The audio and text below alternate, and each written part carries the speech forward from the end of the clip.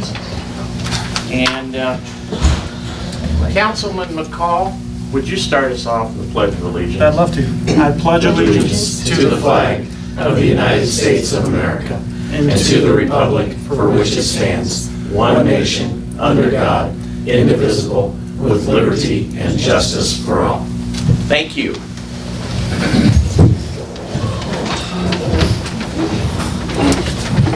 Before we start the regular business tonight, uh, I'd like to uh, announce that uh, we are losing Councilman McCall. He has uh, relocated and now lives in the county. And by uh, statute, he, he must resign as a city councilman, and uh, the Democrats will be replacing him.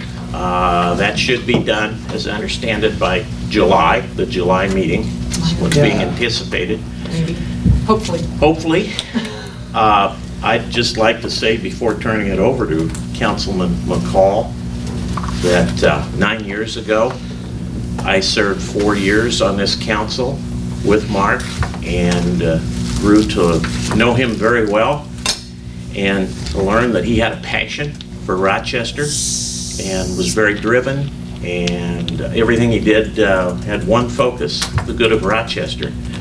I immediately uh, thought this was nice guy to be around, you know. Uh, Continued to be that way. Uh, During that period of time, you know, I'd have breakfast once in a while, and Mark never shirked any duties uh, while serving on the council. Matter of fact, he would take the hard issues in hand, the hard boards to serve on, the hard jobs to go do, and did them well. I never at any time thought there was Republican and Democrat in Mark's vocabulary. It was all for the good of Rochester. I will miss him, this council will miss him, and I wish him well in his future endeavors. I certainly hope he's not a stranger to our local political scene. I think the county would relish having him involved. Mark?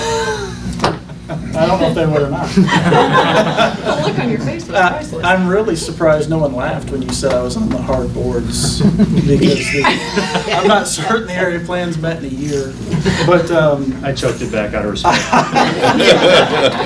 you know, the the kicker is, I think they met last night, and I couldn't go to You it. weren't there. Yeah. Uh, Let, let me rephrase, that wasn't shirt, wasn't the word I should Yeah, use, right? uh, well, Ted, I, I appreciate your kind words. I, um, it's been an honor and a pleasure to serve on the city council for the last nine years. Um, You know, I've served two full terms and started this third term, and I honestly believe um, the council that is in place now um, is probably our best council that we've had. You know, um, Proactive, cares about the city, you know, like Ted said, there is no Republican or Democrat, because if that were the case, every vote would be six to one. You know, they um, truly have the, the city's best interests in heart, and it's been an honor and a pleasure uh, to serve, not only re- to represent District One, but the citizens of Rochester. And um, I just appreciate being able to work with everybody. Um, I- I'll be around as much as I can. Uh, But I think at this point, I get to live out every councilman's uh, fantasy and exit a meeting right at the beginning of it. I noticed your sign is down. Yeah, yeah. it's Sign is down. That's my party gift. But thank you. I, I appreciate it.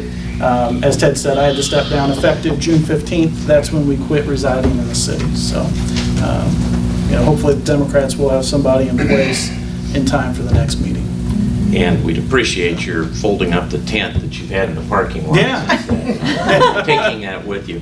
No, uh, you have to be on this council for over 20 years to get a gift when you're Yeah. yeah. But uh, I got a started, link uh. Yeah, there you go. I started something when I became mayor. If you notice, I wear the uh, American and Indiana flag on my lapel uh, uh, all the time.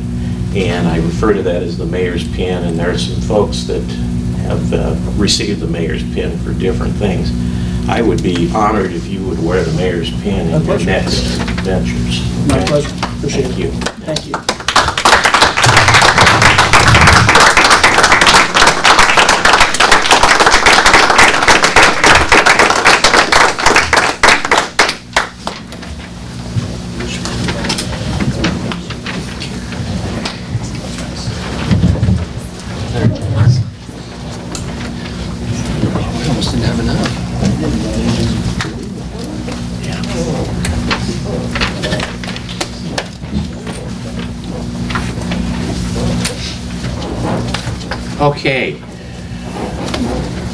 Let's, uh, we'll start with the uh, minutes for the uh, council meeting from May the 24th. Have you all had a chance to look the minutes over?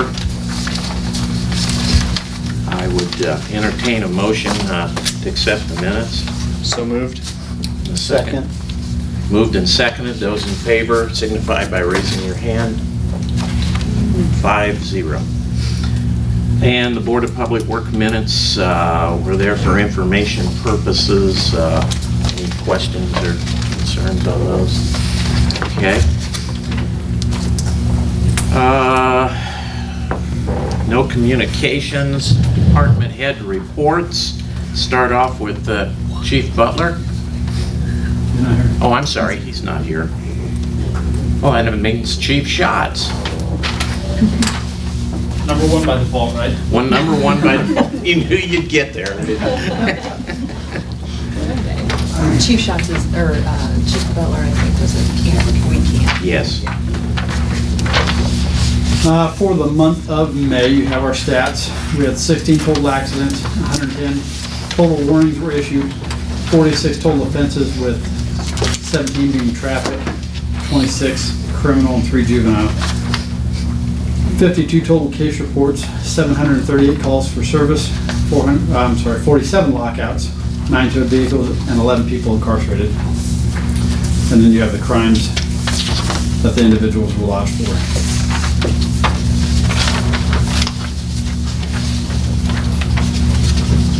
Questions about those numbers? Other business, other news, uh, Chris Burton, his last day was June 17th, so he has moved on. um, And we are in the process of accepting applications. And the Board of Works, uh, last Thursday did decide to extend the deadline for the applications to be turned into July 25th. We only had a handful of applications turned back in. And on, along with that, we do have Eleni Shroff and Ben Wood started this week. Monday was their first day, so we're kind of busy right now getting them. uh, With their training completed, they have to do their pre-basic first, which is going to be most of this week, and then they'll start their FTO phase, and we're probably looking at conservatively six to eight weeks uh, before they're on the road being shadowed. Um, That's, it all depends on how they progress through that phase. Um, Officer, uh, Lieutenant Campbell and I attended the ALICE training at the middle school yesterday, um, just so you guys know, I'm aware of that. Um, Pretty good training. I was really impressed. I was kind of skeptical, I'll be honest, but um, really good training. It's a different way of thinking for the uh, teachers and staff of the schools, um, not to duck and cover like we've always been told, uh, but to take proactive measures to ensure their own safety. Uh, Really good training, and I think it's something they're looking at implementing the start of next school year. Um, So, really good training with that. Um, Narcan training uh, has been today and tomorrow for officers of our department the sheriff's department. That's the, um, the the drug that counteracts a- an opi- opioid overdose. So any heroin or fentanyl or any kind of opioid opioid overdose, we can administer that now and- and hopefully save their life and bring them back. Um, After the officers complete the training, it takes about an hour, then they're given one of the Narcan kits. So we have that with us now. Um, We're gonna have to do some, some things to figure out because they can't be stored in, for very, for very long in anything over 80 degrees or less than 40 degrees. So we're gonna have to figure that out. So, um, July 2nd, which is Saturday, correct, Shada? Yes. Okay, Downtown Partnerships having a color run, uh, starting at Seventh and Madison. You know, we're, we're gonna have a couple officers to come in, help with that, uh, traffic control, make sure they get to the trail and, and back to the start finish line safely. Um, For those of us who uh, haven't participated in a color run, could you explain what that is? It basically running the, uh, it's a 5K, three point. Chase, let Chase Yeah, explain. He's Chase. actually the chair for that I'm particular project. Um, Like Andy was saying, yeah, it's pretty much just kind of a, a fun run that you can do, and you just pretty much throw in color through the race and through the run and And what's the The- the- I don't regard any running as fun. powder. I know, but I'm just saying. Powdered color, it's just a powdered color that you throw. There you go.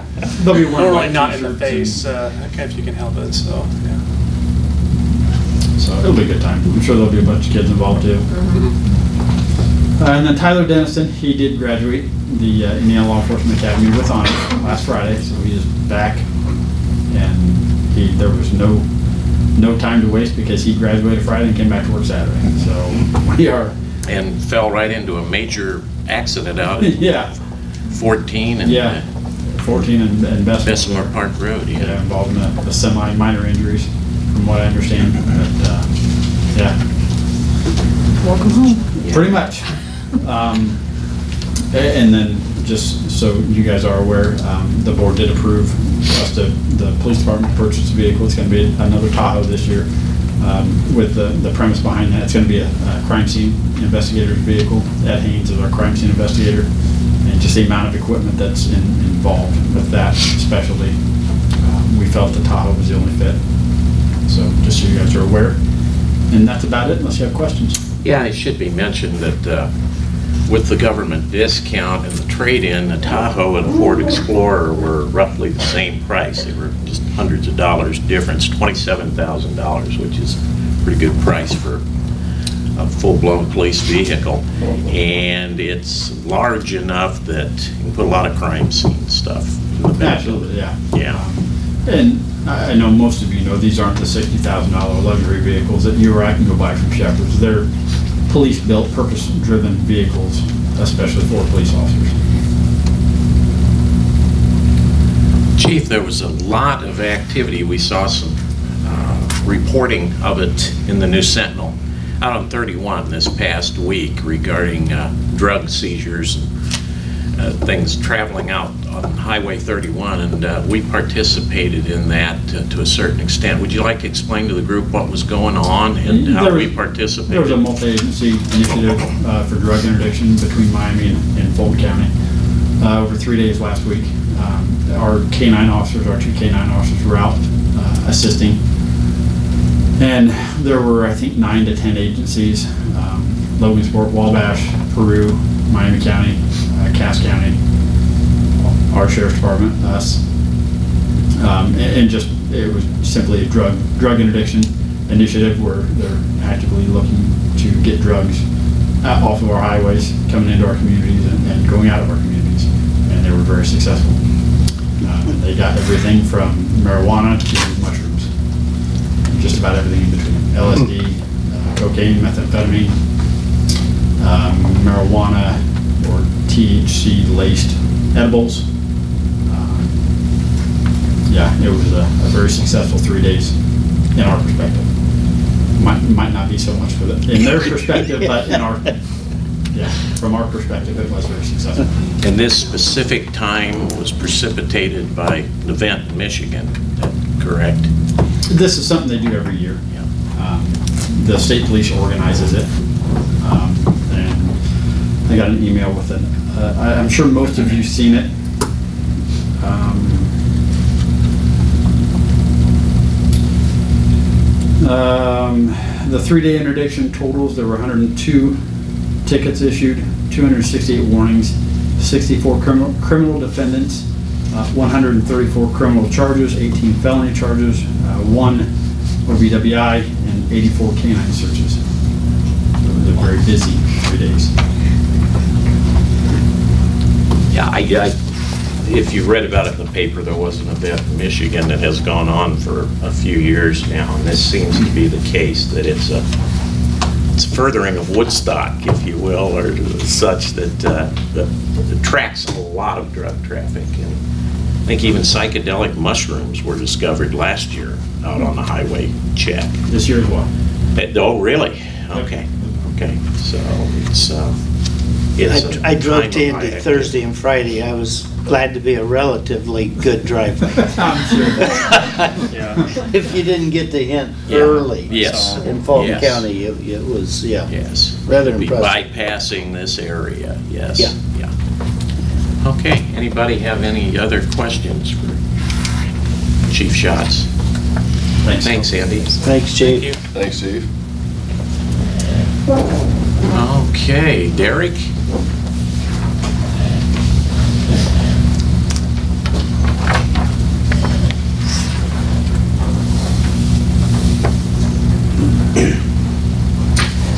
Okay, uh, the water department, excuse me, for the monthly duties of May, um, we read meters. We had an issue with uh, the meters not being done in one day last month due to a broken antenna. Um, We determined that afterwards, we found out that the coax wasn't attached to it. Um, Good thing we were able to get done. Um, But the new one was ordered and replaced, and we had no issues after that. Um, we took care of orders, repaired and replaced bad meters, locates, backwashed filter beds, shut-offs, swept them off the plant, we mowed, ran the weed eater and sprayed weed killer, cleaned out the meter room and restocked the shelves, brought in, uh, more dirt to fill in the hole in front of well two. We had a pipe we had to replace on well two, so, um, that's what that's coming from there. We filled in the hole that was dug inside well two with pea gravel, cleaned inside the building of well two, painted the piping in well two, primed the new legs on the softener number three in the old plant. Uh, we determined that the uh, old legs on softener three was rusting out pretty good, so uh, we had new ones installed by Craig's Welding and Peerless Midwest helped to assist that. Installed a new drinking fountain in the plant, uh, fixed a leaking pipe that went to the outside spigot in the plant. Uh, myself and Randy Wynn attended a meeting in Plymouth for our continuing education hours on uh, May 20th. Planted grass seed at well two, put down straw, painted a new concrete post at the upper garage and the lower shed, cleaned the upper garage and the lower shed. We put new reflective tape on all the new concrete posts in the front of the garages. Um, the reflective tape is the same reflective tape that you'll see out on some of the hydrants and some of the posts that are around some of the hydrants out there. Uh, myself and Randy Carr attended a meeting in Akron. Um, it was actually kind of like a boot camp. Um, we attended that on the 26th of May for our continuing education hours. Um, digs that were performed. We made three one-inch taps out on the new water main that Kenny Anderson has installed. We had an agreement that we would make them while they had the pipe exposed, made it easier on us. We just made the taps and we got out.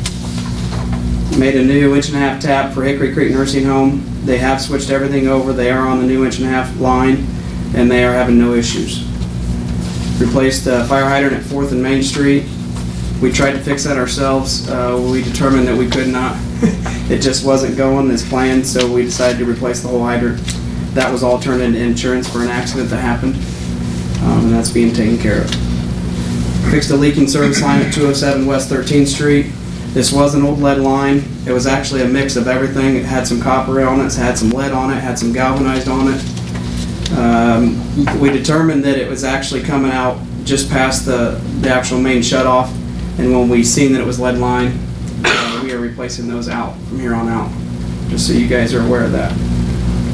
That was fixed and, and everything, we even replaced the outside pit and all the new fittings there. So if you drive down 13th Street right now to go to Little League Diamond, you're gonna go over a little speed bump. We're waiting on E and B to come back and finish the patches. Call outs, I was called out on the 5th at 5:29 PM for a leak at 2124 Boulevard Street. Shut the curb stop off and determined that the leak was the homeowner's responsibility and it was on their side. Randy Wynn was called out on the 27th at 3:48 PM for a hydrant meter at the fairgrounds. Um, the Horse and Pony has a hydrant meter that goes on out there, which you guys might see if you go out to the fair, that they hook up to to water down the, the horse barn and all that. Um, it was the wrong one put on, so we determined that and switched it over to the actual hydrant meter that they have for their hookups. So that's all working properly. Brady Wynn was also called out on the 27th again at 6:28 PM for a leak at 2614 Park Place. Uh, Myself was called out at the same place at 6:44 PM to determine our solution of fixing the leak. And the last re- resolution to that was all three of us came in on Saturday the 28th to fix the leak. Um, The leak was fixed and everything's back to normal. We came in on that Saturday due to the water was uh, going towards somebody's garage and we didn't want to have to turn all that into insurance if, so we just took care of the problem ourselves. Any questions? Are we the ones that are repainting the hydrants? Yes, we are. I'll give you that update next month. Ooh, okay. And it is going well. There's one by my house that needs to be just repaired. We ain't there yet. Yeah. Just give You us need to get time. there right now. Promise you we'll be there. I know we, we've talked about this and uh, we might as well talk about it here at the council meeting. Had some folks question the painting of the hydrants. Somebody wanted to paint theirs like a Dalmatian color and somebody wanted the Colts logo and such on the fire hydrants. But by uh, statute, fire hydrant has to be either red or yellow. And can you explain why, Derek? That's It's a good- determined- Good explanation of it. Yeah, that's determined by uh, what the fire department needs to hook up to the hydrant, whether it's red or it's yellow. Um, They need to know what fittings they're gonna have, and when they come up to a hydrant that's painted brown, um, they're not sure what fitting it's gonna take, so. Or they- any other color. Or any other color.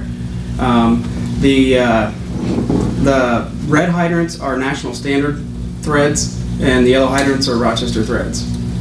Um, And we had some out there that were brown, we had some that were black and white, we had some that were Indianapolis Colts. Um, We actually have one, I know that will be painted, um, and it's red and white. Um, That's not helping them any. Um, If it's a time saver on them pulling up and seeing that it's red and they know what they need, then that's what they're gonna get. Yeah, I know, and I know Chase has worked with this, correct, Chase? Mm-hmm. You- It can mean a difference in 10 minutes, can't it? Oh, yeah. And I did, um, I actually did my homework and I made sure that I checked with, uh, some of the board members. I, I even met with the fire chief. I even met with the mayor. Um, and I did print out copies of what the actual ordinance says on the hydrants and everybody actually has a copy to be on, on the same page, so. Uh, Is there a reason why we don't go universal with that? All state standard fittings? money. Um, the fittings, uh, we can actually get every hydrant to one color if we wanted, but, um, it's a lot of money. I know the whole lake, actually everything out of the lake period is red. If it wasn't red, it's red now. Um, and there was just a few that needed to be switched over. We did switch them over because we actually did have the extra fittings on hand. Um, and now everything out there is red. Everything will be red from Main Street all the way out to 25 on 4th Street. Um, the guys went and did some of those today on switching them over, and they'll actually be coming up that way painting here shortly. 9th Street, everything on 9th Street's red now. There used to be some yellow ones down in front of Ladybug Cleaner, um, Slappies and all that, and we've converted those to where those are red now. I think it's safe to say that anything that we do in the future will be a red fire hydrant. These yellow ones are Yes, older hydrants that Yep. uh, somewhere along the line will be weeded out. But right now, it's, it's important that we know what's sitting there when we pull up there with the fire truck. absolutely. And everything we order from here on out, we order red anyways. Um, Back in the day, they didn't really care what color they got. I'm not sure how that happened, but um, I know since I've been with the water department, it's always been red. It comes in. Any other questions for Derek? Thank you. Thank you, Derek. Thank you. Derek. Lenny?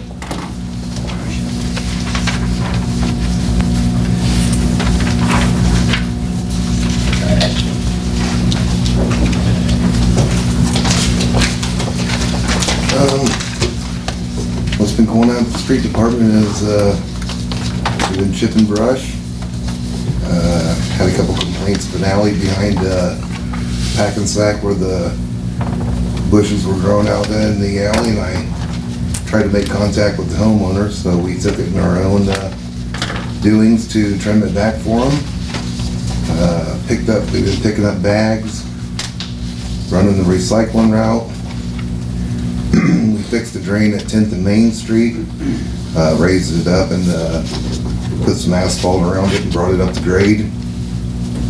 Uh, we weed eated around, uh, the street barn and sprayed it, uh, for weed killer and cleaned up around the, uh, street garage a little bit.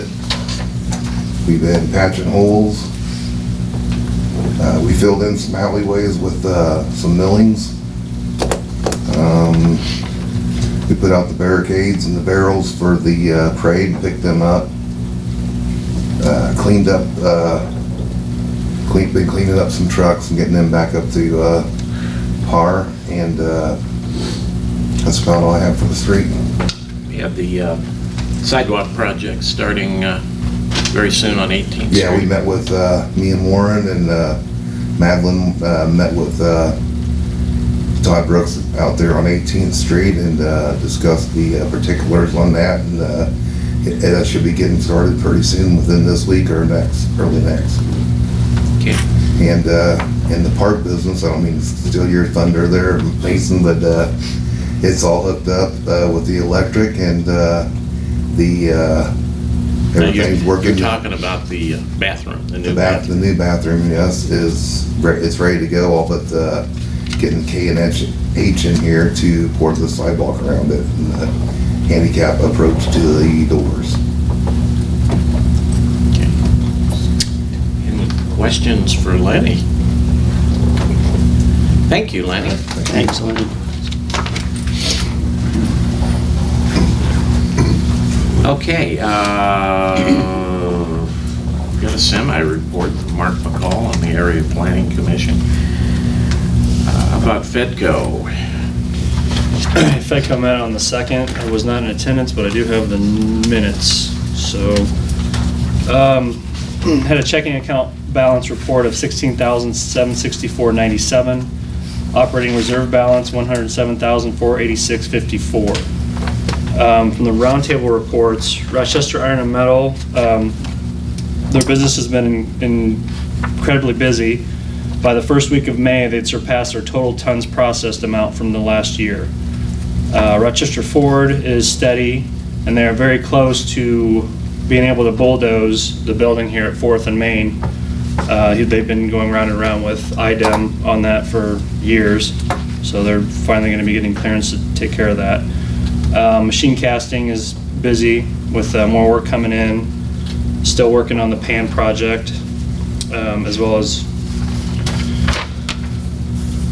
Modern Materials, we were also part of that project, and it looks like there's some activity that should be taken off the next couple weeks. Um, Modern Materials, we just installed a new dip line, hired three new employees, and look to be adding some more in the near future with some new work. Um, The final closing on the Blackadder purchase was to take place on June 10th. Um, There'd previously been talk about putting a roadway in, but they've decided to wait on that for the time being. The OrthoWorx presentation group um, will be getting together again. Um, Mayor has a meeting with Paragon in July. Talk about some opportunities there. Project Cardinal, which is the, um, the kosher plant, um, is still in the meeting phase. Terry has a meeting in Chicago on June 7th. I haven't heard about the results there. Um, Team Pride and the Chamber had a, a nice open house and ribbon cut, ribbon cutting event. Team Pride is now up to 29 employees. And Dean Foods, Terry learned that uh, Jackie Walorski traveled to Dallas a couple weeks ago, and she spoke with uh, the Dean's food group there. They told her they are not going to sell the building. They have a plan for the building. There probably won't be 150 employees, but they were planning to do something. But none of us know what that is at this point. Um, Interesting note about the schools, this year's graduating class uh, graduated with 441 college credits. 70 students went to Ivy Tech at the Learning Center for classes. Next year, 84 enrolled with Ivy Tech. Um, Unless you have questions, that's my report. Do you have anything you wanted to add about Paragon? Uh, Toby Buck and I will be meeting one-on-one at Paragon Medical on July the 13th. He was not able to uh, be at the uh, OrthoWorx presentation. He was in Washington DC at that time, and he wants to see the presentation, so we'll, we'll take, uh, I'll take PowerPoint along and show him our presentation.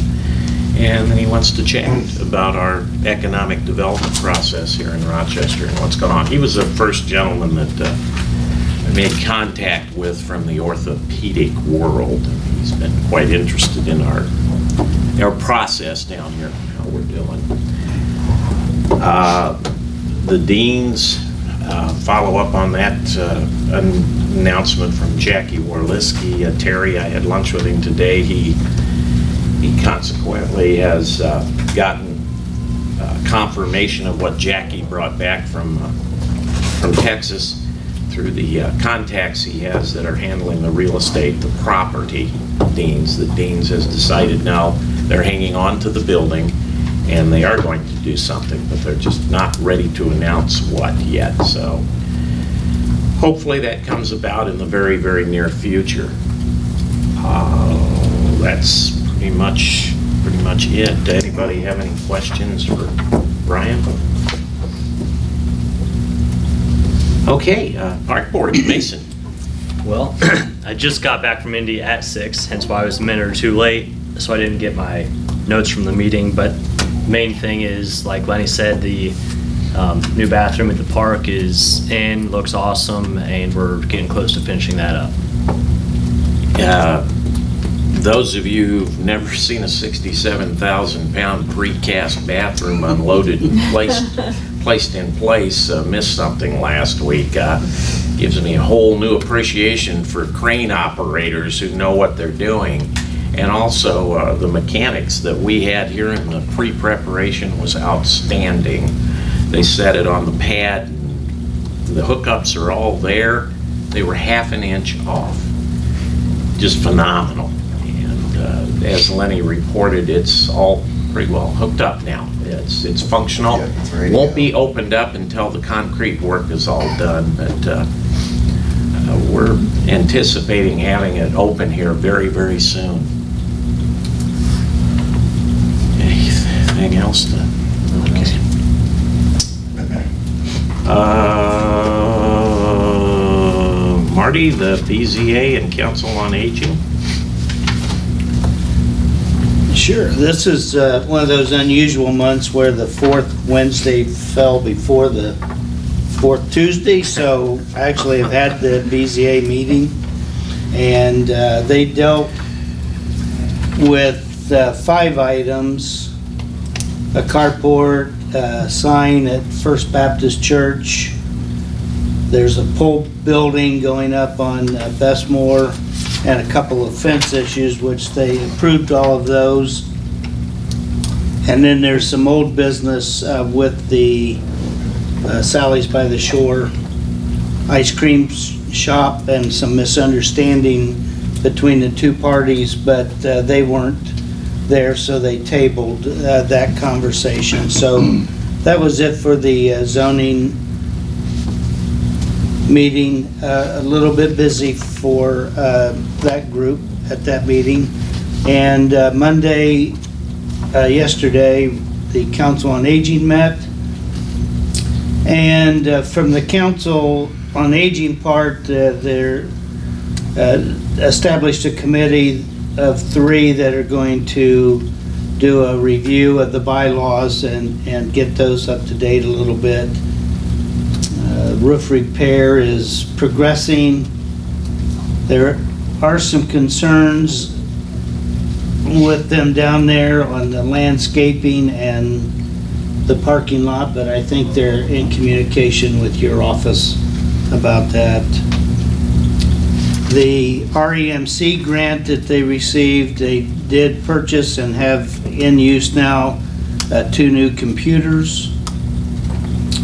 And they have finished the application for the funding, uh, the majority of the funding that operates the Council on Aging. So uh, that uh, quite an undertaking, and that application is completed and submitted. For Transpo, I reported last month that a new van was ordered. It has arrived. It is being used now. Last week, they hosted the Northern Indiana NDOT meeting at that building, and I, I think that was like 10 counties. I, I'm not quite sure on that. And they are still averaging 189 trips a day. So, um, for whatever reason, May was up uh, again from last year, but uh, overall, they're still way up and uh, almost 190 trips a day, so. There are questions?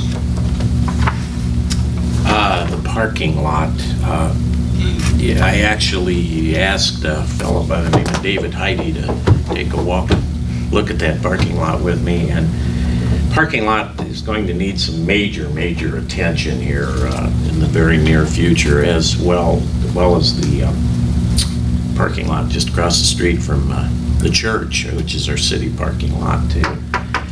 So uh, David agreed, though, that we could uh, get by another year with uh, sealing of cracks and doing the uh, coating, patching coating. Uh, But next year probably ought to have in our budget to do something with that lot, the whole, whole thing. So And we'll and be, on that we'll be note, looking uh, at that. Mr. Mayor. uh, What's that? And on that note, Mr. Mayor, I met with Tony today from, uh, Crispin from E and B, the Ian, the estimator, and he was going over there today to check out the cracks, about filling the cracks and sealing it up for you. Okay, Get a, get some numbers together. okay, so we'll have that information Yeah. soon. Do you know if Georgia was involved with that? I don't believe so. Okay. No. I'll no. call, I'll call and talk to her then. Okay, okay. And uh, as soon as we get that information, we'll figure out what we're doing. Well, we'll need to get two more quotes. Yeah, yeah. Did you hear that? We need a couple Yeah. more quotes too. But, uh, but we, we can get by for one more year, we can get it in the budget, do the major project in next year. Okay. Solid Waste and Animal Adoption Center. Chase? We, solid waste. The June report, uh, the recycling center shipped 120 tons of recyclables with a value of 8,899 tons and 40, sorry, $8,899.48. For the month of April 2016, County Line landfill received 20,674.11 tons of waste in 23 and a half working days for a daily average of 880 tons per day. Fulton County accounted for 5,328.49 tons. The rest of Indiana contributed 15,345.62 tons. There was no out-of-state trash collected. The host fee for the month was $24,350.55. Uh, So far, as of, as of that meeting, our meeting, uh, they had sold about 102 orange, of the orange bags uh, for the recycling program that they're doing, of which 42 were purchased by the city residents and 58 were purchased by county residents. Um, They've collected $69 for the disposal of bulk items. Um, Of those people that uh, purchased the bags, I think Stacy said it was about 98% that had already recycled um, that purchased them, so it wasn't any, really any difference. Um,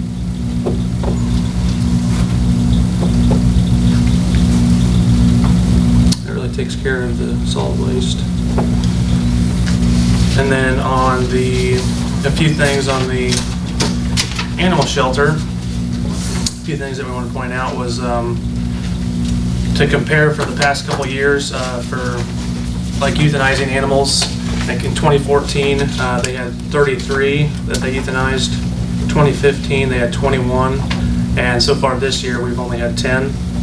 Uh, So Janet has really stepped up quite a bit in trying to uh, place animals in with uh, the right homes.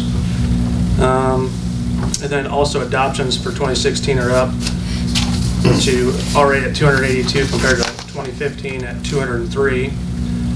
And then uh, donations for 2016 are already around 15,000 compared to last year, we're 12,000.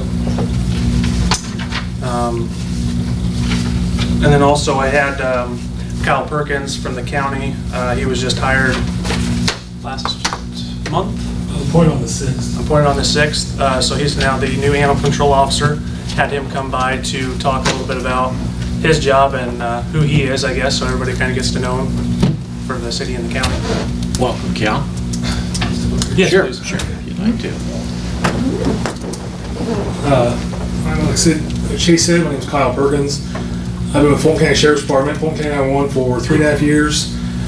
Um, as a 911 dispatcher, so I'm familiar with the area. I've been a Fulton County resident for four years. Um, I do live in the county, not in the city. Um, so I applied for and was thankfully appointed the animal control officer. Doing a lot of updates within the department. Um, Ordinance-wise and laws-wise, have really changed. There has been talk with county commissioners and the sheriff's department myself, and we'll be updating the county animal ordinances. Last time they were updated was 2001, and things change. Um, Addressing some issues, uh, I know Rochester is a, number one complaint I've heard so far in my short career is the feral cat problem. I'm sure you've all witnessed it yourselves or heard about it.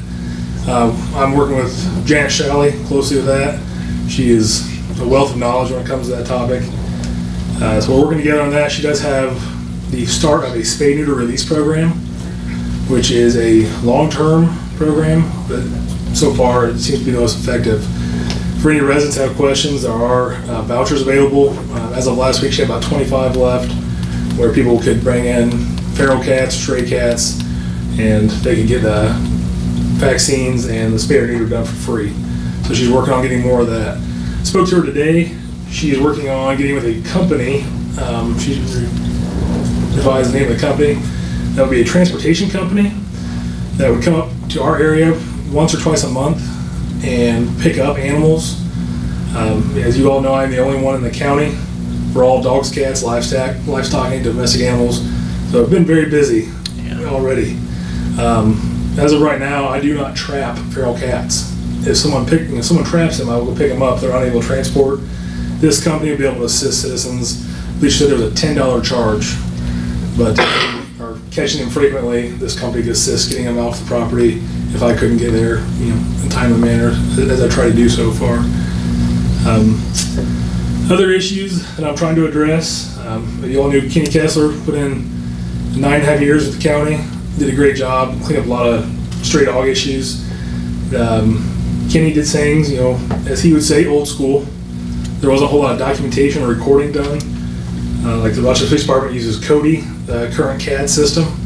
I am familiar with that from 911, so I'm going to start documenting my incidents and animal owners on that to make people accountable and keep record. Um, I've told everybody I've dealt with, I've had issues with. I'm not out there to write a bunch of citations. I'd rather people take their money and take care of their animal than to pay a citation. Um, so far in my career, I've only had to do one, and that is a repeat issue we've had here in Rochester. Uh, We've got some couple pit bulls. I guess they're harassing city um, utility employees, as long as chasing a couple elderly people and youth. Dealt with them about twice within like 17 hours. So hopefully they get those dogs contained. Like I said, I'm constantly changing, looking at updating some county laws and just some better record keeping. So people are held accountable and responsible animal owners. Any questions?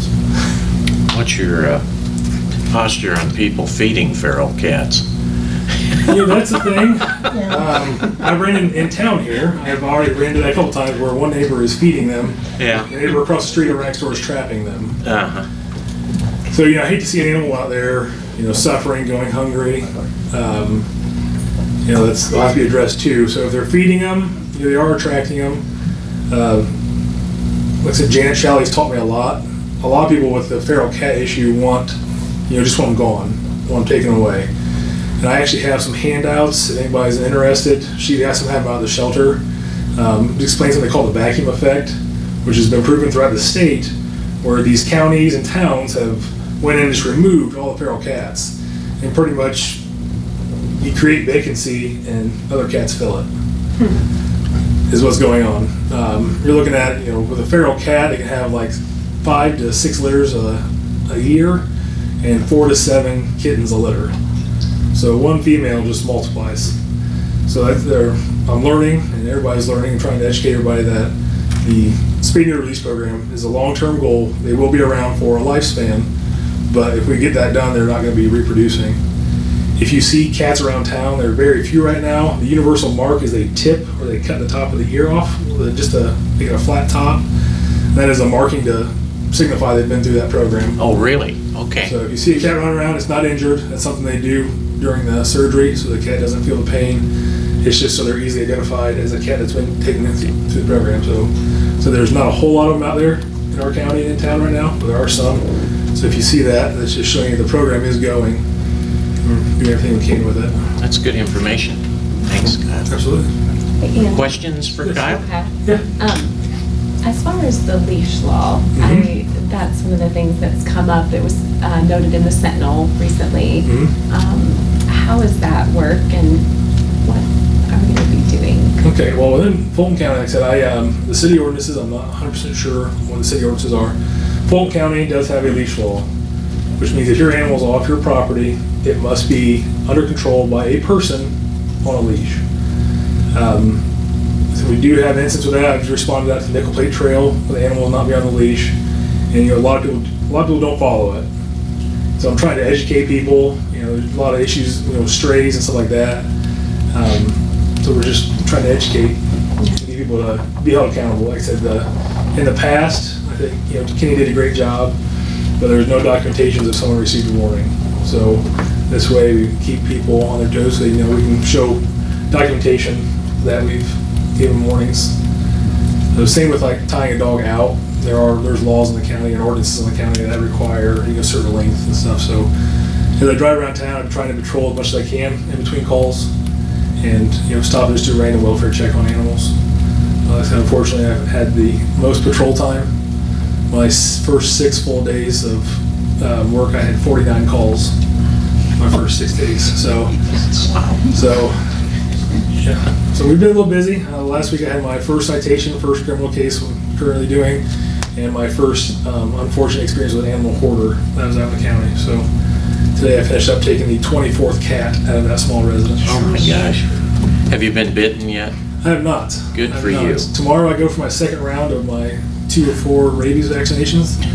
The county is required by law to supply me. The county is taking care of that. I'm going through that and trying to be as careful as I can. Well, we have, uh, we have several people here tonight, but we're also going into several people's homes live. I want to encourage you and welcome you to come and address us anytime you feel like you've got some updates and information for us, because got a lot of pet owners around We do. There's a lot of dogs, cats. You know, like I said, I'm also the livestock domestic, any domestic animal in Fulton County. Um, you know, for people are watching, and just common knowledge out there, the average cost of a rabies vaccine in our area is around 45 to 65 dollars. Uh, citation for an animal for a dog that is not vaccinated is around 500. And if it's involved in an incident, the citation go up to thousand dollars. So that's why I tell people, you know, that I have had nine bite reports so far in my career this month, and I think four of those nine were not vaccinated. And I gave those people 30 days to spend the lower amount of money and take care of their animal, be responsible, then pay a citation and still have to take care of their animal. So if you look at the numbers, it's a pretty easy choice. I hope to almost most people. Thank you very much. Thank you. Thanks, Kyle.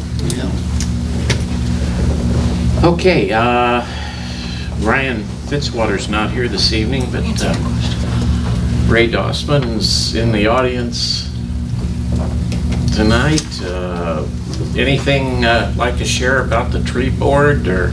For the tree board, Yes. uh, um, well, I think we're finally getting organized uh, with a new system for uh, keeping track of what's going on with the trees. And uh, we got, we ran into a few rough spots in the beginning, but I think um, probably within a couple of weeks we'll have everything working properly. We'll see how it works. And the process, if I'm correct, Ray, is if somebody has a tree that they believe is suspect, needing some attention, either taken down or trimmed, they come here and Right. fill out a work order, a, a, a review form, right? If you want your tree trimmed, uh, removed, or if you want a tree planted, come in and see the city clerk. She'll give you a, uh, application form.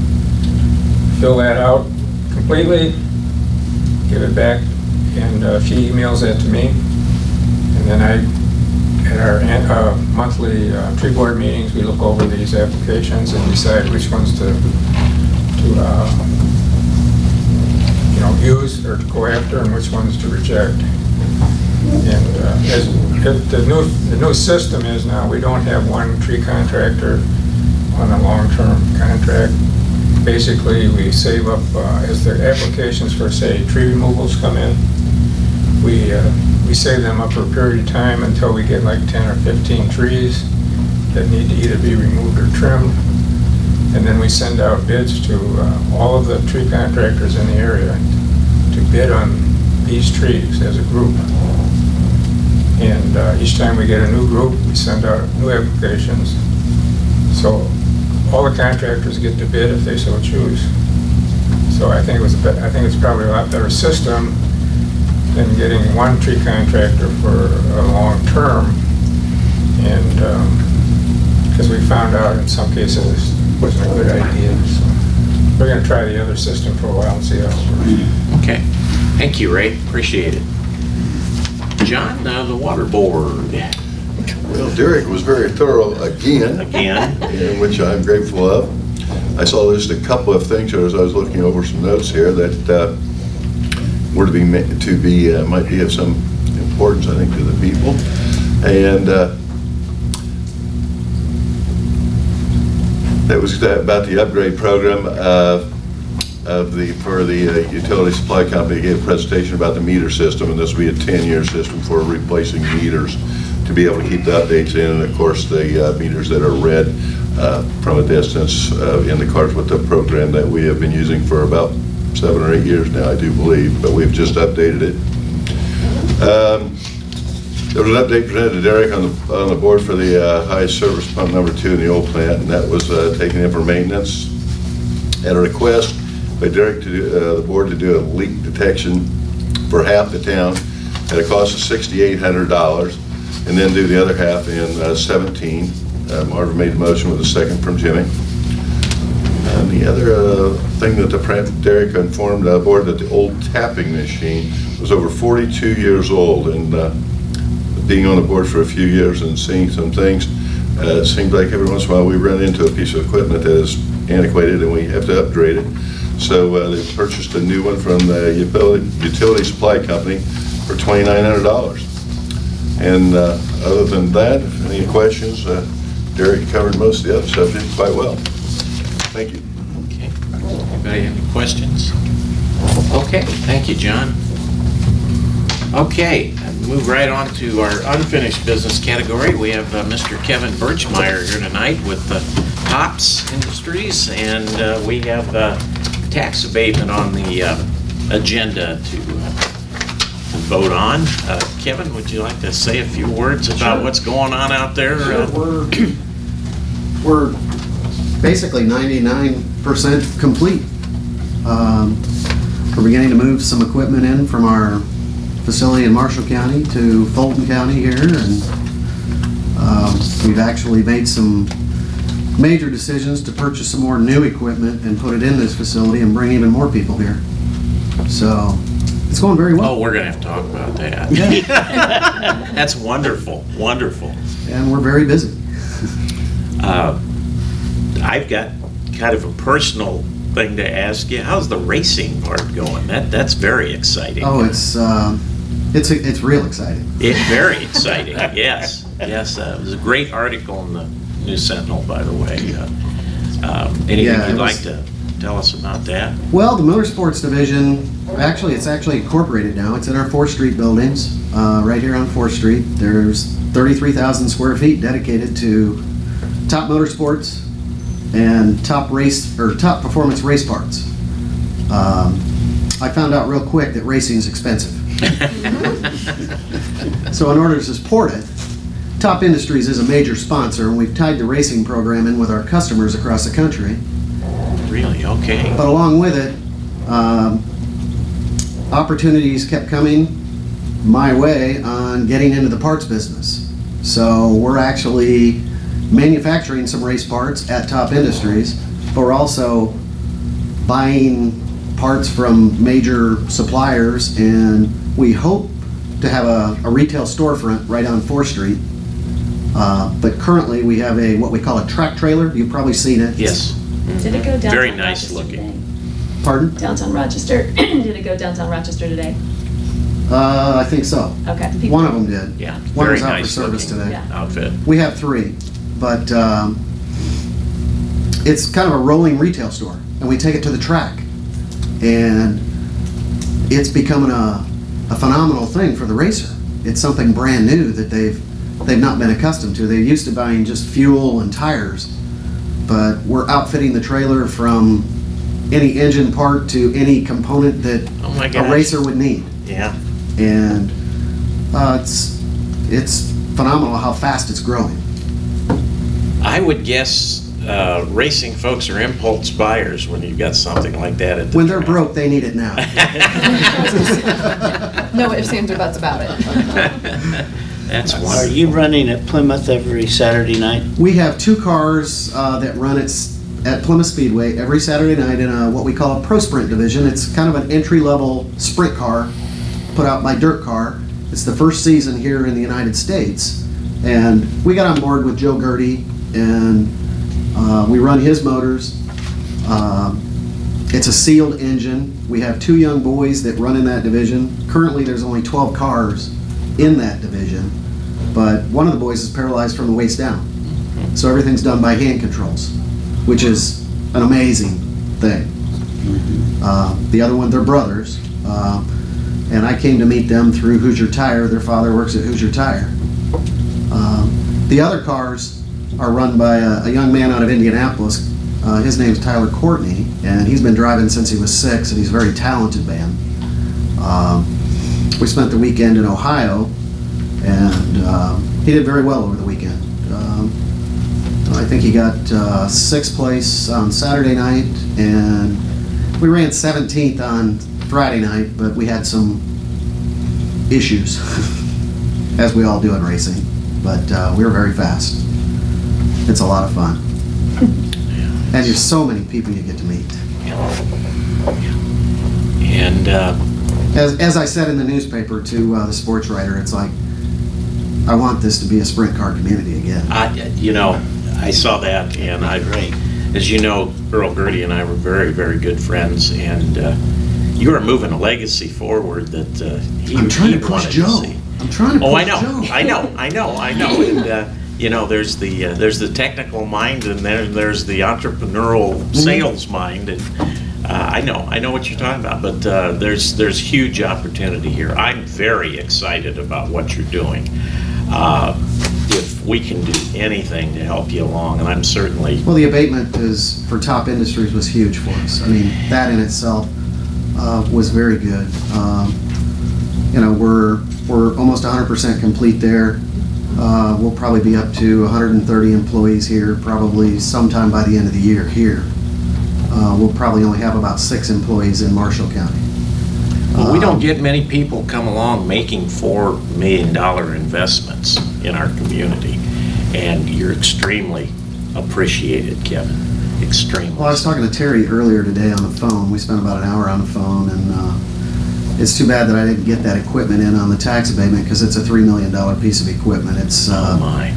uh, it's quite state-of-the-art. It's robotic. It's all run by robot. um, And it's in that brand-new facility over there. So we just made the decision and pulled the trigger, and we brought it here. Well, I want to come out and see you again. Got some, Oh, opportunity, anytime. got some thoughts. I'm there uh, every day. Well, unless I'm at the racetrack. Terry and I just, we- we had lunch today and we talked about you, and we've got some racing thoughts we want to just bounce off of. Well, and yeah, and Terry and I did discuss that. Oh, okay. In, in quite depth on trying to educate some of the young men, um, uh, to acclimate them into the racing world because, you know, I mean, you need people, it takes an art to build a a hundred thousand dollar motor that we're putting in our cars. Yes. I mean, it's not, we're not going to Chevrolet and buying a crate motor. These are built by hand by people like Joe Gaerte. And there's only a handful of them around the country. You're right. You're absolutely right. Thank you very much. Yeah, thank you. Thanks, Kevin. Thank you. To entertain a motion on the uh, tax abatement request. Uh, Yeah, on the renewal, and this is only, Renewal. and I think, Kevin, you were explaining, that this is just as a safeguard for the county auditor's office to make sure that something doesn't slip through the cracks for you Right. guys. So what we're doing is just, even though he's Getting it on ninety-nine percent we wanted to get the abatement renewal on the books, make sure that nothing fell through and that we were keeping it on, on the track moving on this. Right. No pun intended on that. But, sorry, racing's in my blood too. My dad used to drag race, so. Yes, I'm he excited. did. Yes, he did. Yes, he He was did. pretty good. So, anyway, we would, yeah, entertain a motion. Entertain to- a motion to uh, continue the tax abatement. So moved. Second. I'll second. Those, Too late. Those in favor Too late. signify by raising your right hand. Okay, we got a five zero. Thank you, sir. Quick, no, I didn't hear it. Okay, uh, well, that takes us down to um, new business. Uh, RDP Design Committee, Harry Webb. Hi, cousin Harry, how are you?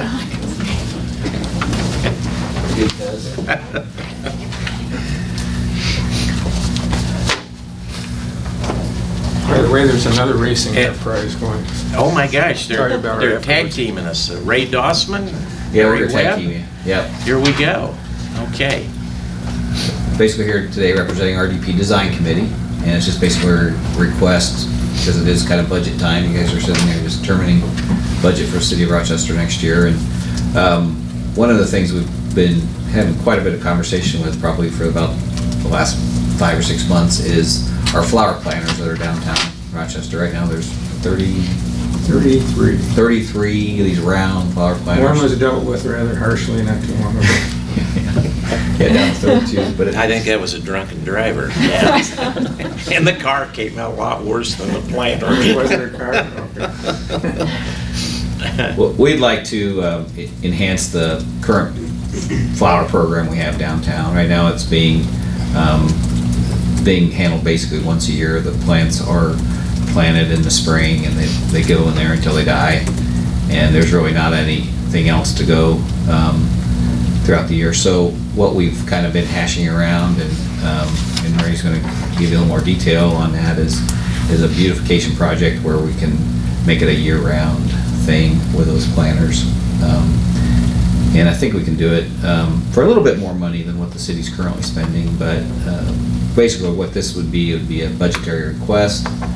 Um, And then with, with your blessing, we would manage the money and then submit uh, maybe quarterly to the Board of Works for approval um, for the, for the projects. But, What, um, what kind of money are you talking about, Harry? Well, currently, um, you're spending a little bit over four thousand dollars in labor for watering the planters, and about seven hundred and fifty, was it, seven hundred and fifty dollars for flowers. That's what you're currently spending. Lenny, it's taken way too long to water those plants. Those are rough I didn't numbers go based on, Okay. but, uh, I don't know. I don't those are rough numbers based on, um, I have a question though. I'm the one watering the plants. Why isn't the soil being transferred out? Because the plants are dying already. Well, there's a lot that's not happening with it that could be happening with it, and, and we're gonna be talking about what we're gonna propose. Um, But it is currently being watered by street department employees. Correct. um, and we're Three doing- times a week, depending me, but on, We're doing that how often? Three times a week, Twice, twice a week. three times. Three times. Monday, Wednesday, and Fridays. Okay, assuming it didn't rain, you know, that type Yeah. of thing. And they come in early in the morning, um, prior to basically everything else getting going, so they can get them watered, and they have a truck. Um, The proposal we're gonna, that we're presenting would be utilizing, um, the florist who plants them would be in charge of maintaining them and, uh, and, uh, you know, keeping them up and watering them. So it would remove that, and fertilizing, so it would remove all the, the labor burden from the city. Um, So, but Ray's, Ray's got a few thoughts, basically describing what he wants to do with these planters. okay. Okay, so you're, you're basically uh, spending about five thousand dollars a year on the present system. Just raised it to thousand. The, um, what we're, what we're planning to do is, um, and the, the flowers themselves are, we don't object to them, I mean, they're, they're very nice looking and so forth, but we think we can uh, probably do better if if we had a little more money. And um, the plan would be, instead of uh, buying one type of flower for the entire growing season and planting it in the planter, we take the, the soil out of the planter, and we would, uh, the person in charge of the program would obtain potted plants, potted flowers, and put them in the existing planters, no soil, in suitable uh, moss-type containers. So the only thing that would have, and and then this would, and the idea would be to put in more different kinds of flowers. And there'd be one flower arrangement for spring, summer, another one for summer, another one for fall, another one for winter. Of course, in the winter, you wouldn't have flowers, you'd have some other plants that would do well in winter. And the thing is, at the end of the given season, whatever the, the flower arrangement is, uh, the contractor would come along, and remove all the pots of flowers and put new, new flowers in, in new pots. And the, um, about every three days, more or less what you're doing now, they go around and water and fertilize them, keep them looking nice. And the idea would be to have a larger, a higher, in other words, with more different flowers of different sizes, we would have a more dramatic uh, arrangement in these pots, so it'd be more attractive. And in the different spring, in the different uh, seasons of the year, you'd have seasonal type flowers that match the season. And that's about it. I mean, the- the idea is don't plant them. Don't worry about keeping them growing. They're gonna, they're already planted, they're already growing in their own pots. But all you have to do is fertilize them and water. I assume you've discussed this with our florist. It's been Yeah, we taking we care contacted a couple possible. Okay, okay, and you And we say have- it's, We uh, have some proposals. okay, say it's a little bit more money. What are we talking about as far as a little bit more money? Well, we'd like, we'd like to ask for nine thousand dollars. Number can be obviously your discretion, but that's, and, and I don't believe we're gonna need that much initially. We don't really know. We think one of the bids may have been a little too low. I don't think they possibly understand the amount of work that's gonna be involved. Um, But we are kind of factoring that in, and this could be a number that could be adjusted as we go, go on. But obviously, it's not gonna be just, um, a blank check. It's gonna be a, a bidded out pro- program, and it's gonna be handled, distributed to them quarterly based on the work they've done. So, you know, that once the re, the replenishment has happened and they've done their quarter's worth of work, then they would be allowed, you know, continue to do another quarter, that type of thing. And Ray's, um, got this idea really from the city of Chicago. If- Okay. If you've, uh, seen the beautiful flowers down Michigan Avenue or whatever, that those, those flower planters, and he was actually witnessed it, where the, the crew came in with a trailer and in about 15, 20 minutes, completely redid this entire display by just pulling out the pots, putting them in one spot, putting the new pots in, and, and, you know, when they, when they moved away, they completely had a rejuvenated, fresh, um, approach. And eventually, when we get, if we get to the point where we can have a downtown street- streetscape program, we'd like to replace those uh, round pots and come in with some permanent planters that are lower level, you know, lower sidewalk level planters that maybe come up about a foot, have, have maybe a little fence around them.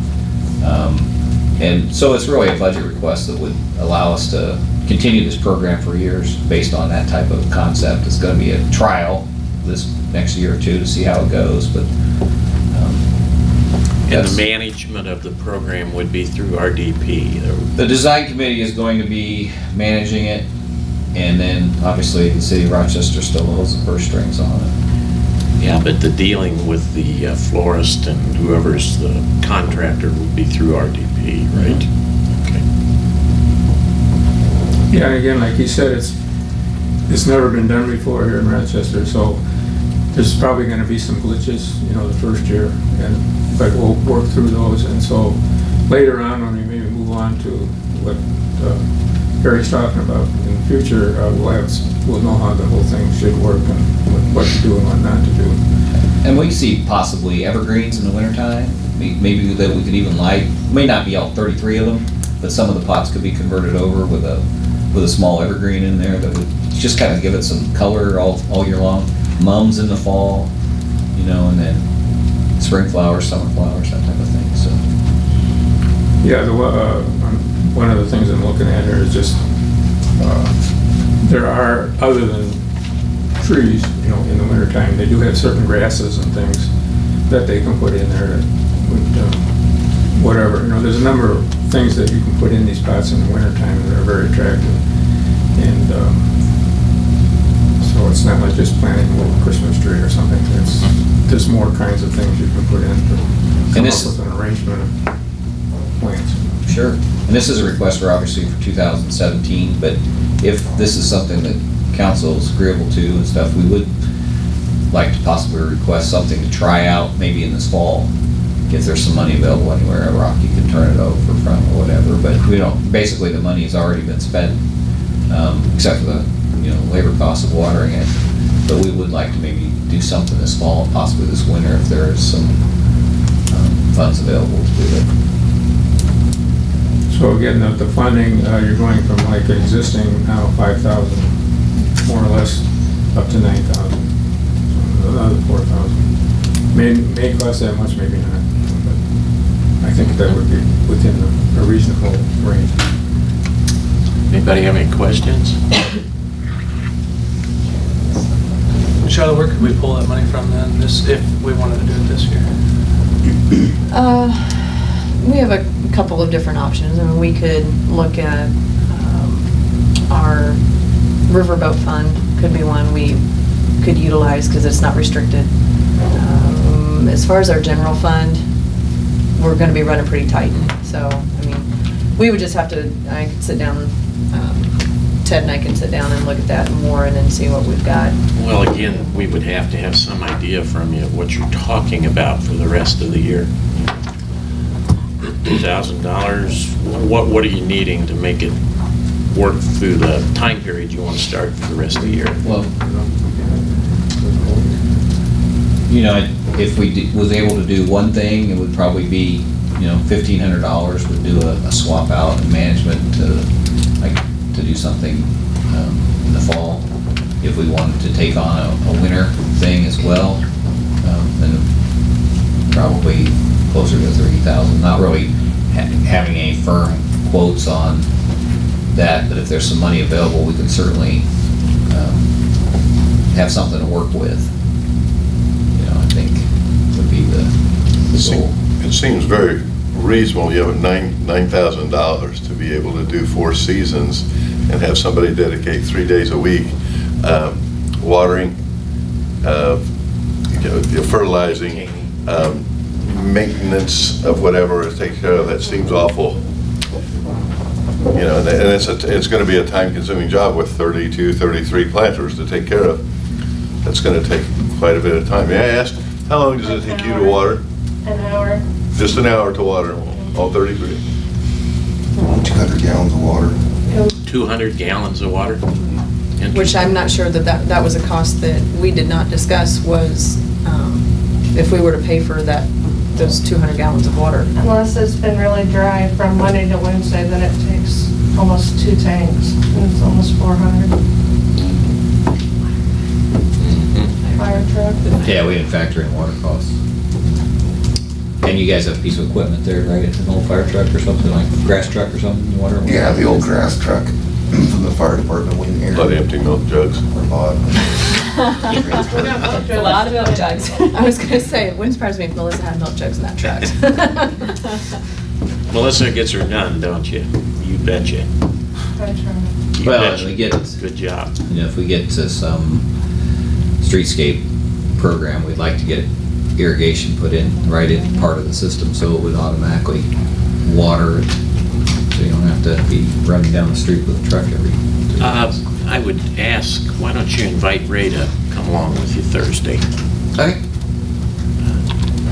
This, this kind could, could blend right in Yeah. to what we're gonna be talking about Thursday. What's that? Oh, don't worry about it, Ray. No, Ray. Don't worry, Mayor's fine. Trust Harry. Don't worry about it. We've trusted Harry before. haven't we? Okay, any other questions? Thank you for your consideration. Thanks. Thank you, gentlemen. Okay, thank you, guys. Um, Got another piece of new business here, a young lady I'd like to introduce to the council. Victoria, would you like to step up to the podium? This is Victoria Jennings. She's a DePaul uh, junior, Yep. and she's interning with the mayor two days a week, uh, volunteering. She wants to shadow the mayor for a couple of days through the summer, and she's been doing that now for a couple of weeks. I just wanted to introduce her and let her uh, tell you a little bit about what she's doing and what she's about uh, at school. Well, first you better tell us what you did to get you in trouble at DePaul. Shadowing our mayor. Everybody asked me that. Okay, Are you well- seeing a theme? Thank you. So as the mayor said, um, I'm Victoria Jennings. I'll be a junior at DePaul University in the fall. Um, I'm majoring in peace and conflict studies and minoring in political science. Um, so I just returned from a DePaul extended studies experience in Ireland and Northern Ireland where I could put my major to work. And now I'm fortunate enough to come back here and put my minor to work. Um, so currently I'm focusing my efforts towards um, the mayor's economic development initiative um, in Rochester. We are saturating the state of Illinois with letters requesting companies to consider um, doing business in Rochester. Um, so I will now read a copy of that letter written by the mayor. Fellow business leaders, as a former business person, now mayor of Rochester, Indiana, I am fully aware of just how hard it is to compete successfully in today's business world. I am writing to make you aware of what the impact could be to your bottom line with a relocation or new startup move of business to Rochester, Indiana. Illinois has been known for some time by us in the Midwest as the taxing state, with the philosophy that you can tax your way to prosperity. Corporate taxes have been known to raise in the past by 46%. This is not the case in Rochester, Indiana. We are a right to work state and Illinois is not. This gives you much more hiring and firing flexibility. Rochester has acres of shovel ready industrial park ready to build facilities for lease or purchase, up to 10 year tax abatements for property and up to 5 years for equipment. An industrial park that is part of a tax incremental funding district providing more reduction in overhead for periods of time. Ample available workforce in a predominantly non union rural area a crossroads for three major highways, as well as a county airport that has a 5,000 foot runway with plans to expand to 5,500 feet. A county owned critical care hospital and a, one, a 700 acre lake that is one of the cleanest in the area and is host to boating and fishing of all kinds. This is just the tip of the iceberg as to the benefits of doing business in Rochester, Indiana. I believe our biggest benefit is our community attitude. We are wanting your business and would relish making you a part of our community. If you'd like more detailed information, or better yet, wish to come see us or having, have our marketing team visit you, please contact me or email me. Thank you for your consideration in this matter. Sincerely, Mayor Ted Denton. So we have so far um, reached out to 26 businesses in Illinois. Um, we plan on reaching out to many more, and hopefully we'll receive um, we'll receive some contact back soon. Yeah, we have, uh, we've obtained, we've purchased uh, manual of uh, businesses and industries currently operating in Illinois. It's, it's huge, and we're going to saturate the state with these letters. And, You know, if you only get four or five back, that's four or five you didn't have yesterday. And Victoria is spending her time in doing that, along with uh, going to meetings and fighting with our uh, team at the city hall. That's probably won't, you won't go back to DePaul and talk about that in detail, will you? No, definitely. Okay. Only a professional. Uh, Just share, share for the group a little bit your experience here. I, I think this is absolutely fascinating when you were in Ireland, what they did with you with the Catholics and the Protestants. Um, so we worked with um, Peace Players International, which is an organization that uses basketball to bring together youths in troubled areas. Um, so in Northern Ireland, it was the Catholic and Protestant kids. And um, as part of the Good Friday Agreement, a lot of the um, convicts were released on the condition that they would participate in like cross community and peace building work. Um, so right when we got off the plane, they put us on a bus tour um, where a Protestant ex-convict who was part of this program took us around all the Protestant areas and told us about why he was arrested and what his role was in the conflict. And then he got off the bus and shook hands with the Catholic, who then came on and uh, took us through the same thing. So um, it was very interesting to see how the conflict is now and where it was 40 years ago. How long are you here for? Um, I'm here until the first week of August.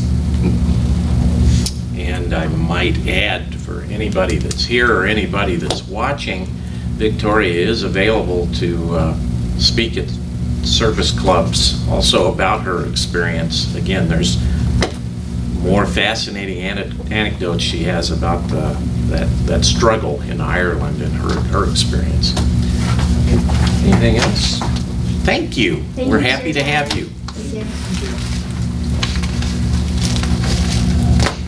Okay, under new business, uh, gentlemen, we need to uh, set a date in July for our uh, budget meetings.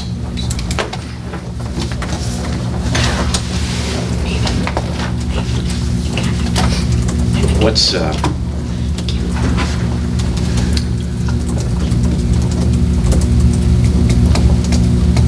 I, I'll tell you what, my, my calendar is pretty, I've got a lot of things on here, but I've got Tuesday, is that a good time uh, for everybody? Tuesday's good?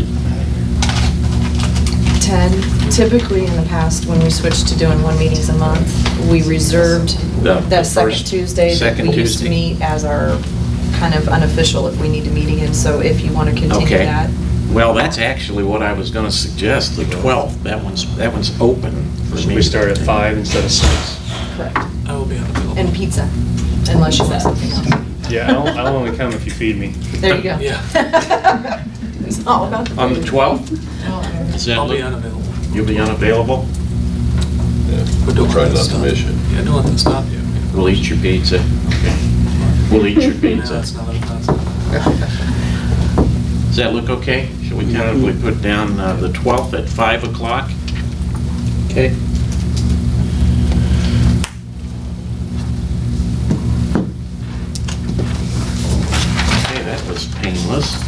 And then if you Well- do desire another meeting, Yeah, we Beyond usually that- schedule ahead, just in case we don't get it finished. Okay. On the 12th. What do you think then for a a backup meeting? 19th? 19th?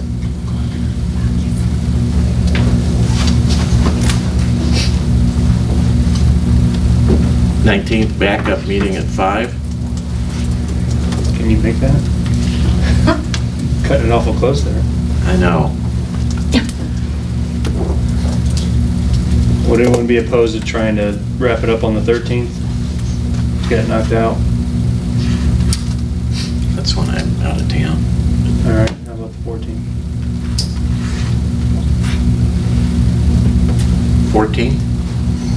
Sure. How's that look? I'll Look be good? that whole week, so I'll be. Okay, you still like pizza? Can you send it to me? Oh. Okay, backup is uh, the 14th. what I will do when I send the advertisement out, I will include both dates. That way we're covered, and then if we Okay. choose, if we don't meet the 14th, then I'll let the At 5 o'clock. 5 o'clock, okay. Okay, so the 12th at 5 o'clock and the 14th at 5 o'clock if necessary. Okay, thank you. Okay, we have um, no legal concerns at this point? Nothing I need to bring to the council's attention, some things you and I have been working on. but- Yes. Yes, okay. Uh, No ADA concerns, no ordinances or resolutions. I would entertain a motion to adjourn.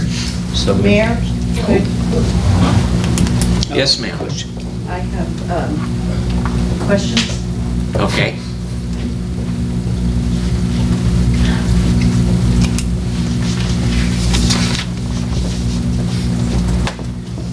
Going to sit down if that's okay, um, because I'm not feeling well. Yep. So I don't know I need to kind of rearrange or what. Um, Please My name is. Chloe Ann Choate, and uh, I'm glad I was here because I was able to see Mark. That was nice to see him go. Um, Mayor Denton, I've had some conversations with you over the last couple months regarding the funding for Operation Pullover. And um, in January, you put a moratorium on accessing the funds, which had already been approved. Um, And you had some reasons why, and you said you were going to do some research on it. And I emailed you yesterday and asked if you had read the granite yet, because when you and I met, what, late February? Mhm, Yes, Okay, you had not read it at that time. Have you read it? I have. Okay. And what is your position on that? My position's still the same. We're not going to participate in Operation Pullover. Wha- mm, Why? I don't want my officers operating in any manner differently uh, than they would on a daily basis just because of a program that uh, intensifies their efforts. I, I want them to keep the peace in uh, same manner every day without uh, the influence of a special program. I can see your point on that, but what, what incentive is there for officers to do more than what they're doing when participating in a program such as Operation Pullover or ticket, click it or ticket or whatever it is? What's, what's the, I don't see what the rub is. Uh, For example, um, the uh, blitz that was on US 31 last week. But what is the difference? Well, the difference is that blitz was the result of an anticipated activity that had had previous uh, uh, encounters with, with the drug world. So it was like a neon light saying, hey, we need to be aware of what's coming through this county, mm-hmm. which I agreed with fully. I mean, you get a signal like that, you've got to go participate in something like that. And it did. It resulted in similar results as it has the last couple of years. Mm-hmm. I, an incentive for our officers to do their job, these people, these gentlemen and, and lady mm-hmm. now, they are not working on an incentive program. It's not like uh, making a product in one of the factories. and- Oh, I agree, but I I don't if you do understand more, where you you're come the get- idea you're of get paid. These are very special people who are committed to keeping the peace and serving the city of Rochester. I agree wholeheartedly. And this is not an incentive, it is another funding tool. Well, I'm using your word. It is another funding tool. It is not an incentive. There is no more money given if you stop no one, or if you stop 100 people. But as Mark pointed out, you drove a little bit more carefully when you went down 31, didn't you? When you No, I noticed. drive carefully all the time. I'm sure. Yes, I do. But my point is, um, Operation Pullover and the other programs like that must be advertised. They're not sprung on people. They must be advertised in print, radio, and television if available. There is a pre-time that they must be advertised. There's also a time afterwards where the public is notified that that is over. So, um, to me, it seems logical, Mayor, that it should be the department that decides whether they need the funding, not the mayor. No, it's the mayor's uh, decision to decide what programs we're going to participate in. It's, it's the person who is the head of the organization. And uh, this mayor has not seen any value in that program for this community. So at this particular point in time, I'm going to restate that I want my officers operating in the same manner on Monday that they would on Friday without regard for any special program that's being instituted. Have And you received any complaints about officers since you have been mayor of, of being over-aggressive or any behavior issues related to a stop? No, I haven't, but I Were did, there I did follow an administration that did receive complaints Yes, during the operation. what about under this current chief? I have heard many, many compliments from all of us, from all of us about the quality of the training and the integrity of our officers. To me, that is not an issue at all, because I believe we have very good officers now. What I know is going on, though, is that we are short-staffed. There's officers that have left, There's new officers coming on. Overtime is an issue. You're getting ready to look at your budgets. And this is another funding category that is available. And I just, I don't understand. It's, it's a, it's a program that pays overtime for policemen to work. It does not pay overtime per se because it is a different category. I have worked with these federal grants before, and it is not considered overtime. It is a different category, and that, to me, is another issue for the department to determine on how to use it and whether to use it at all.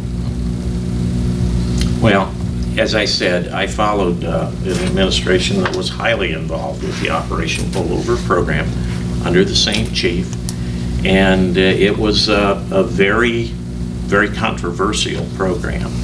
Were there complaints while Chief Schatz was chief? Oh, I believe so. I don't, uh, I don't know. I wasn't the mayor at that time. Well, I spoke with um, Mr. David Murtaugh, who is the executive director of the Indiana Criminal Justice Institute, okay, down in Indianapolis, because I read through the grant and I thought, okay, I'm having a blonde moment here because I just don't see your concerns. And I realized we were on opposite sides on this, but I thought, okay, I want to be, try to understand this. And I wrote him an email, um, including some of the statements that you had made to me. And I received a phone call within about 15 minutes from him, which just surprised the heck out of me.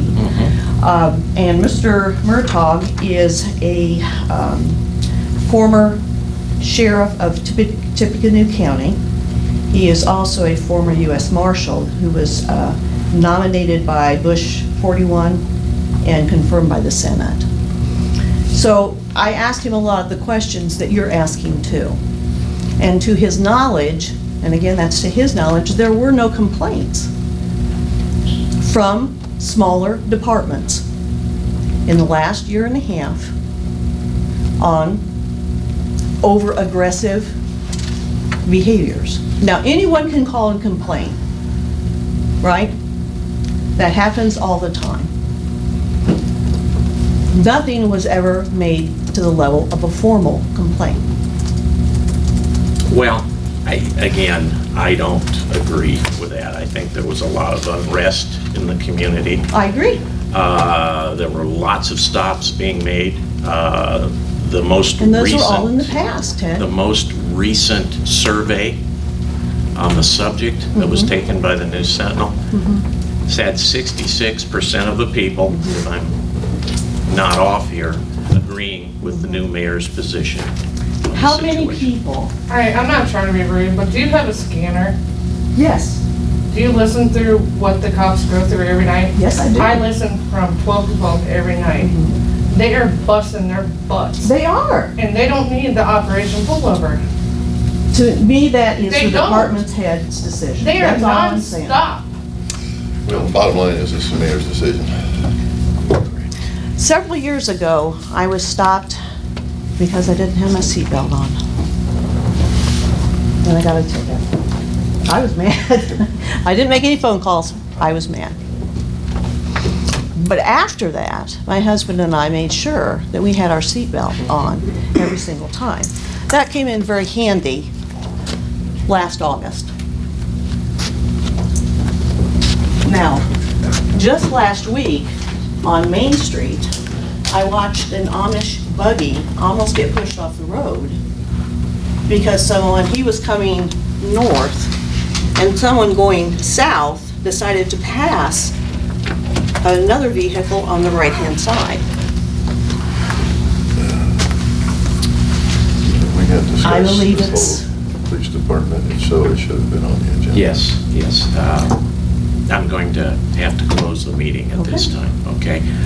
Uh, Perhaps uh, later time, if you'd like to discuss something with the council like this, let Shada know, and we'll get you on the agenda and make it a formal. Well, there should be an open time in every city council meeting. Well, Yes, yes, there but it's also uh, question and answer times relative to the agenda, and that's why we publish the agenda. And the public has a right to come and voice their opinion. Correct, Correct. Do I have a motion to adjourn? So moved. Second? Yes, I'll second. Thank you, And those Jen. in favor? I'm sorry. I did. Okay. We are in adjournment.